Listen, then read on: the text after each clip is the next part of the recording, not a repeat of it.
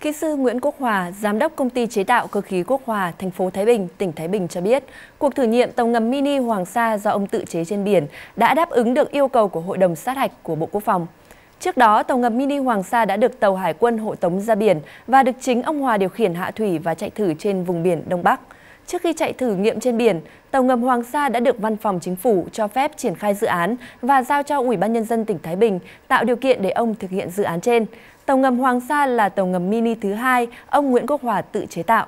Trước đó năm 2014, ông Hòa đã nghiên cứu chế tạo tàu ngầm mini Trường Sa.